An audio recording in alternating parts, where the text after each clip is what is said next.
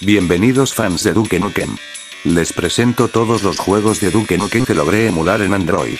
Para todos los que aman estos juegos, os digo que son fáciles de emular y no presentan grandes requisitos, a excepción del juego de Java que no funcionó, todos me corrieron bien. Si te gusta el vídeo dale like y suscríbete.